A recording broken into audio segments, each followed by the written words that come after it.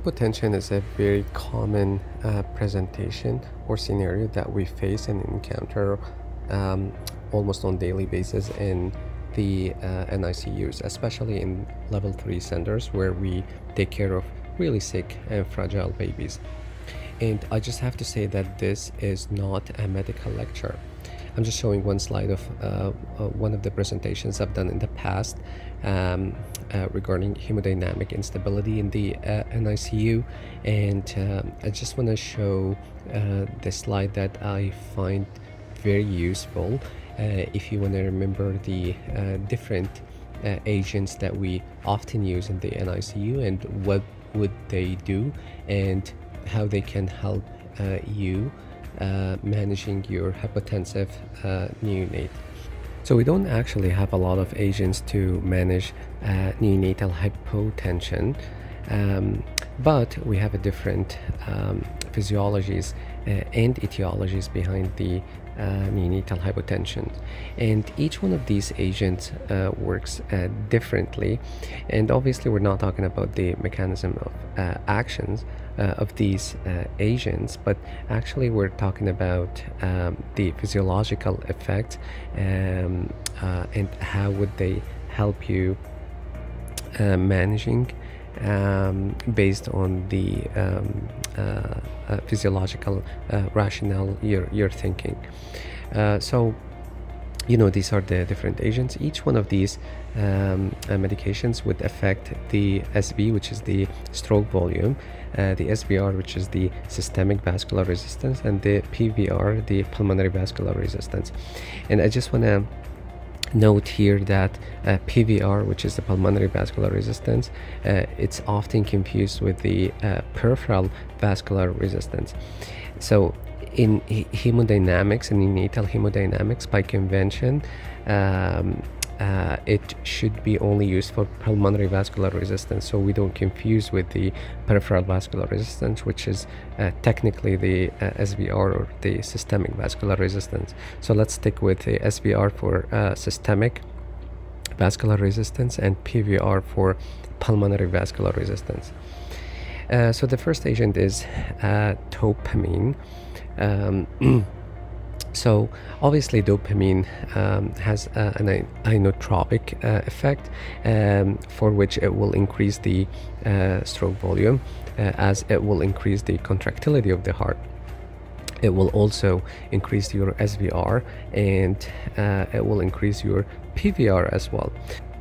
So for example, if you have an HIE baby with RV uh, dysfunction, uh, then dopamine probably is not the best uh, um, agent as it will increase your uh, pulmonary vascular resistance and will increase the afterload uh, on the RV, right? So it will uh, increase your SVR and it will fix your blood pressure. However, uh, it's probably not helping the right ventricle that has to work against the high afterload. Okay, this is just an example.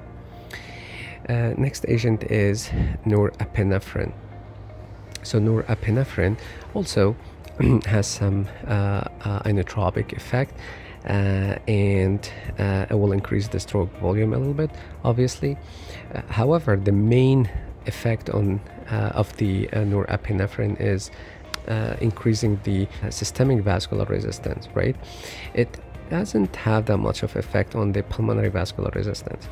So the best um, case uh, or the scenario to use the norepinephrine is in uh, warm shock where you have really decreased uh, systemic vascular resistance so and hence the hypotension. So just use norepinephrine it will increase your SVR and uh, hopefully it will fix the uh, blood pressure okay?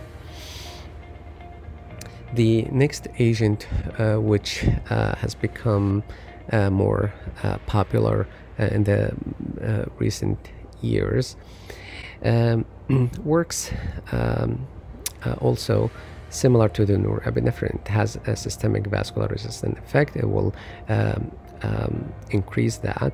Okay, so it helps you in the uh, warm shock. The also good advantage of vasopressin is that you can use it in cases of pulmonary hypertension because there is maybe some effects on the pulmonary vascular resistance as it decreases it okay a little bit. So it may help. It may wor work as an ad adjunct therapy to uh, the inhaled nitric oxide for example okay next agent would be dobutamine which is uh, mainly uh, works to increase the contractility of uh, the heart okay so if you have uh, rv dysfunction for example in context of myocarditis um, or like severe RV dysfunction because of the HIE or because of severe pulmonary hypertension, dobutamine is a useful agent in this case as it will increase the contractility. It doesn't have that much effect um, on the SVR, neither the PVR. Next agent is milrinone, uh, which is phosphodiesterase uh, inhibitor. Um, the main effect of the uh, is that um, it will increase your cardiac output by increasing the stroke volume. Um, however, you cannot use it in cases of hypotension.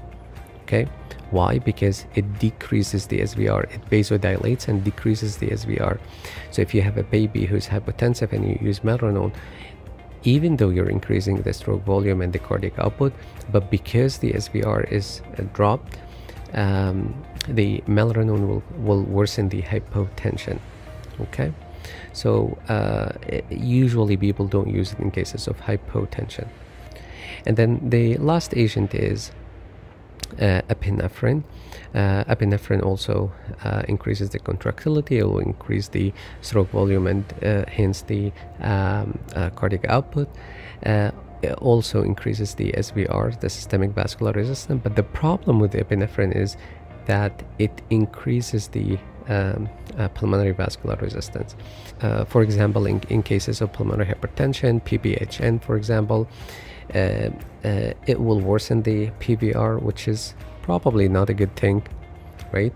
Um, despite that, it increases the uh, stroke volume and uh, the SVR, but increasing the PVR in cases of neonatal PPHN is not a good thing. And uh, yeah, that's it. That's the summary of all of these agents. And again, probably this is simplified uh, summary of effects of these medications. probably there is a lot of overlap. Um, between them. And sometimes uh, it's not as clear uh, as this or distinct as this. Like you can't have uh, a clinical scenario with uh, just one um, isolated uh, issue. For example sometimes like you have HIE baby with um, RV dysfunction a decreased SVR and uh, decrease cardiac output and it's really complicated. And sometimes we use a couple of uh, uh, agents uh, as well. Hydrocortisone is also there. Uh, I'm not going to talk about it here otherwise the video will go long and long. Uh, but I think that was um, a quick short summary. I really hope was useful and helpful. And yeah thanks for listening